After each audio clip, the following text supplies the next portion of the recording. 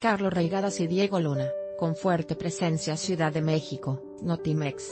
Guión Diego Luna caminó por la alfombra roja de la edición 75 del Festival Internacional de Cine de Venecia, donde se presentaron películas en competencia.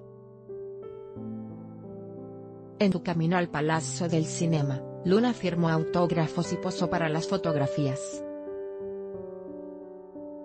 Luna acudió a la presentación del filme estadounidense At Eternit's Gate, 2018, de Julian Schnabel y que muestra los últimos días del pintor Vincent Pango. El actor fue invitado por la casa de relojería suiza Jaeger-LeCoultre, de la cual fue presentado como amigo de la marca.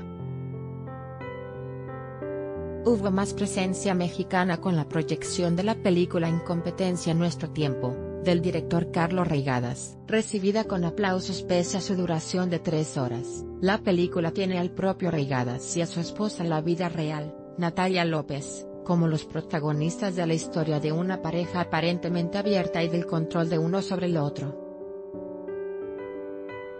Reigadas interpreta a Juan y Natalia su esposa Esther.